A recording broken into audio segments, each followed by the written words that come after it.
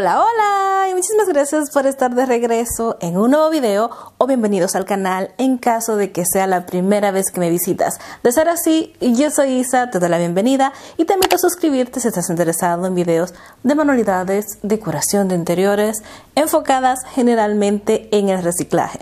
En el día de hoy me encuentro en mi sala ya que quiero invitarlos a que me acompañen a decorarla para darle ese toquecito otoñal como verán, no van a ser algo nada extremo, simplemente voy a estar colocando uno, dos, que tres accesorios para darle a mi casa, a mi hogar, ese toque de otoño.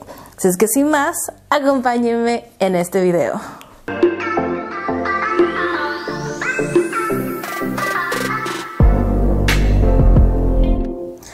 Cuando hago este tipo de decoraciones, generalmente inicio vistiendo las ventanas con cortinas, pero tal como pueden ver en este caso ya las ventanas están vestidas. Y sé que alguno va a estar pensando, pero Isa, ¿por qué esas cortinas tan grises, esos tonos tan neutros? Honestamente no estaba buscando unas cortinas como estas, sino que fueron las únicas que aparecieron porque como está la situación ahora mismo, las tiendas no es que están muy abastecidas o bueno, en ese momento que las compré no lo estaban y necesitaba cortinas por privacidad. Entonces me encontré con estas que la verdad es que son de muy buen material, son gruesas, tienen el famoso blackout que me ayudan con la iluminación y vienen perfectas para esta temporada ya de clima frío porque ayudan a que la temperatura se mantenga dentro de la casa. Más bien la temperatura cálida. El problema con estas cortinas era que no eran largas o al menos lo suficientemente largas para que llegaran al suelo. Estas son de 84 pulgadas y estas ventanas las requieren de 105. Entonces lo que hice fue, aquí les viene un truquito que quizás algunos saben, algunos no, pero espero que les sirva, les funcione. Lo que hice fue que compré tres pares de estas cortinas, estas venían en un set de dos, así que compré tres paquetes y con una de ellas le hice una pequeña faldita a la cortina para que esta entonces me diera el largo que ameritaba esta ventana. Ya dejando el tema de las cortinas a un lado, vamos a pasar entonces al piso, dirá, el piso, ¿por qué el piso? Como pueden notar, el piso de esta sala es súper oscuro y por esa razón necesitaba algo para tratar de aclarar la situación.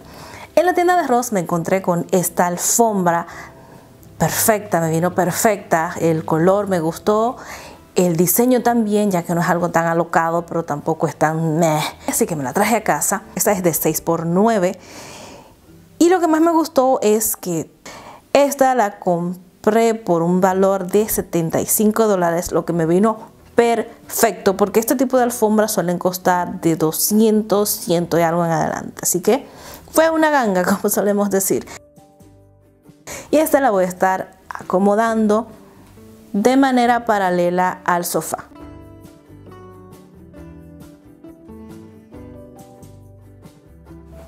Pasando ya a lo que es el sofá, este lo voy a estar vistiendo con un par de cojines. Este es en color terracota, hermosísimo el color.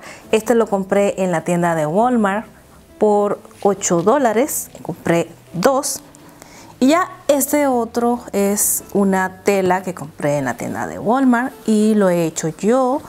Tiene su zipper, o sea que más bien lo que hice fue una funda de cojín y este lo, bueno, reciclé, reutilicé los otros cojines que tenía.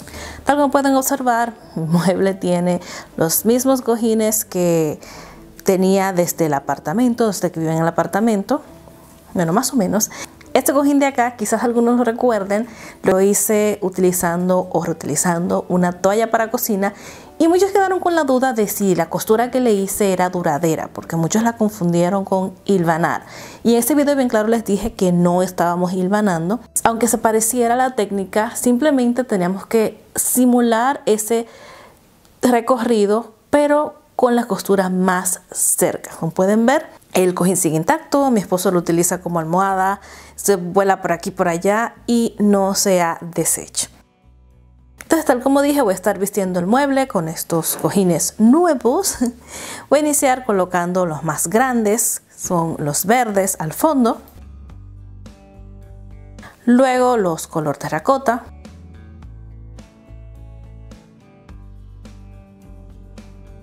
Y finalmente estos más pequeños en tono como marrón, más o menos.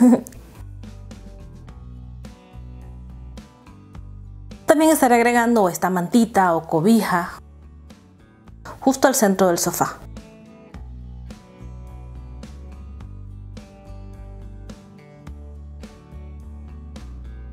Justo al lado del sofá tengo esta mesa que utilizo como mesa de apoyo, mesa lateral. Esta la hice utilizando una antigua mesa de jardín que tenía, bueno, la tengo desde hace muchísimos años, creo que siete años ya y todavía sigue intacta la base.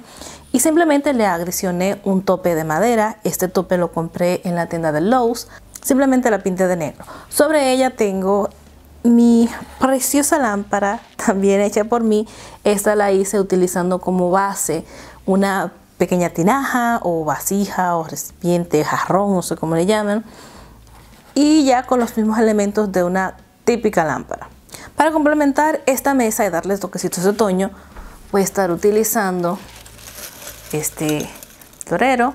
El recipiente lo compré en la tienda de Target y las flores, las hojas en la tienda de Walmart. Cada brotecito por un dólar. Acá tengo tres paquetes. Este lo voy a estar colocando en una esquinita de la mesa.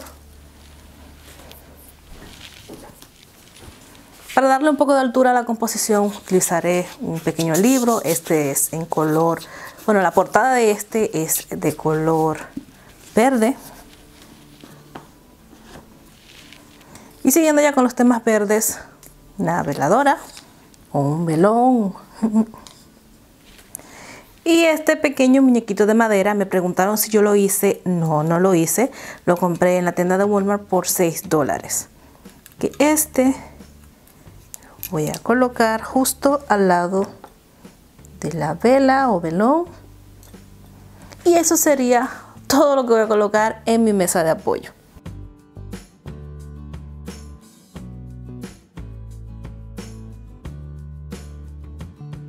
Un elemento importante que no debe faltar en nuestra sala es nuestra mesa de centro. En este caso, esta es la misma mesa que les mostré cómo hacer en un video anterior con un simple tablón de madera y reutilizando las patas. La diferencia es que en este caso les retiré el papel contacto, papel de contacto que tenía, el que simulaba mármol, y simplemente le barnicé o, más, o mejor dicho, le teñí un poco el color de la madera, luciendo esta de la manera que la vemos ahora mismo.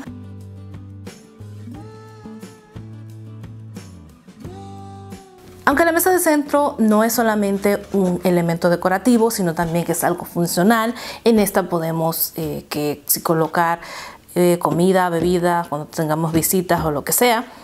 La decoración que coloquemos en ella depende mucho del uso que le vamos a dar y del tipo de salón que estemos decorando. En mi caso, esta no es solamente mi sala formal, sino también mi sala del televisor, porque es la única que tengo. Pero aún así, quiero mi mesa, ustedes saben que a mí me gustan las cosas recargadas, rebuscadas. Entonces voy a estar colocando sobre mi mesa, primeramente un conjunto de libros, Voy a complementarlas con este jarrón lleno de espigas de trigo hermosísimas. Este lo voy a colocar justo al lado de los libros. Y de este lado voy a utilizar esta charola de madera, la cual está hecha a partir de una tabla para cortar.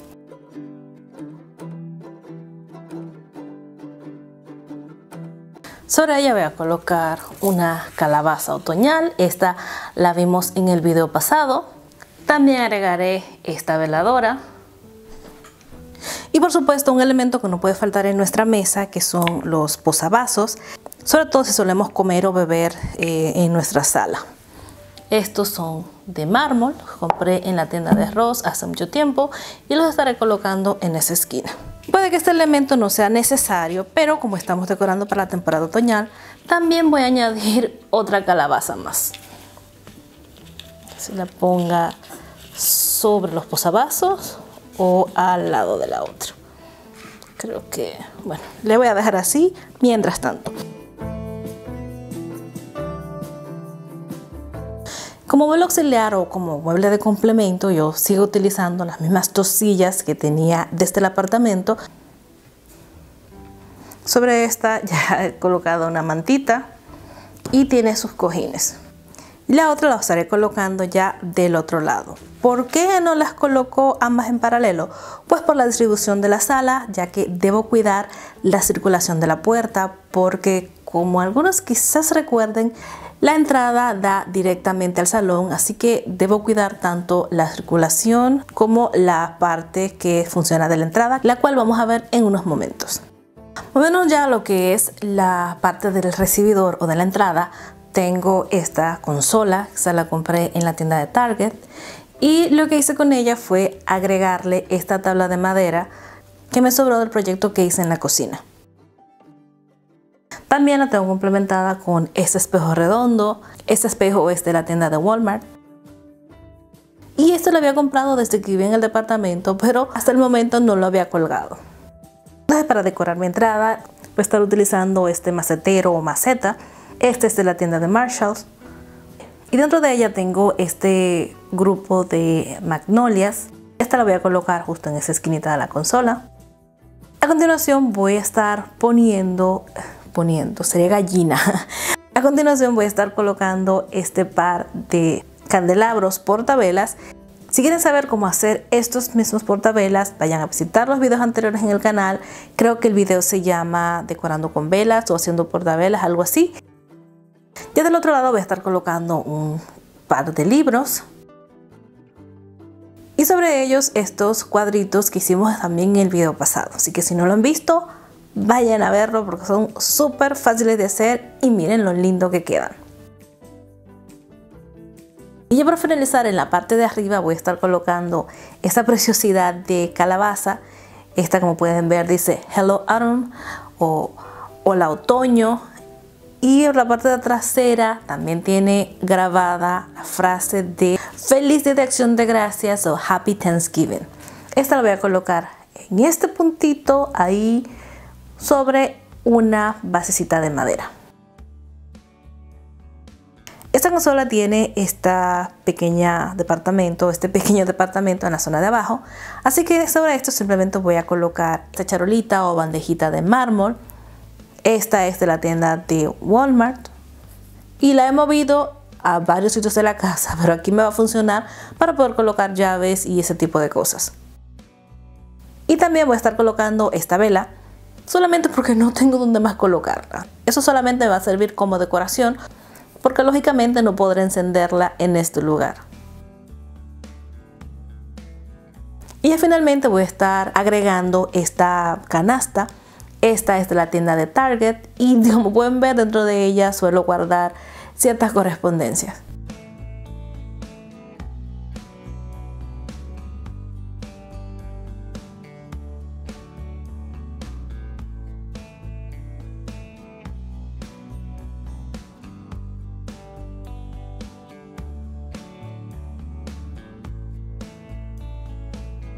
Observadores se habrán fijado ya de esta lámpara que tengo acá. Uh, que se me han puesto borrosos. Vamos, vamos, vamos. y ahí está. Esta preciosidad de lámpara. Tengo preparado un video de cómo reciclar, reciclar, reutilizar esas típicas lámparas de pie, de pedestal y convertirlas utilizarlas para otras cosas. Como de este lado no puedo colocar una mesa, un árbol ni nada porque está justo a la puerta, simplemente he agregado esta lámpara a la pared. Esto es algo provisional ya que tengo pensado hacer algo más adelante en este espacio, pero por el momento me viene bien, me ayuda a decorar y también me sirve como iluminación extra en el salón. Y finalmente es de esta manera como ha quedado mi sala.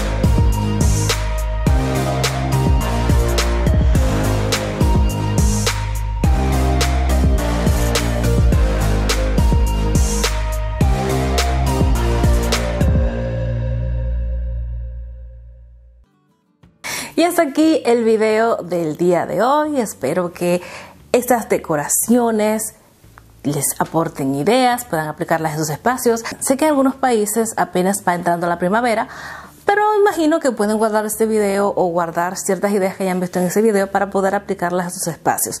Si llegan a hacer o recrear cualquier cosa que hayan visto en el canal, recuerden que pueden compartir sus fotitos con todos nosotros por cualquiera de mis redes sociales, cuyos enlaces directos siempre encuentran en la descripción de cada video. Ya sin más que decirles por el momento, me despido agradeciéndoles nuevamente por haber llegado hasta el final, por ver mis videos, por dejarme sus comentarios y con la esperanza de vernos en la próxima. Adiós.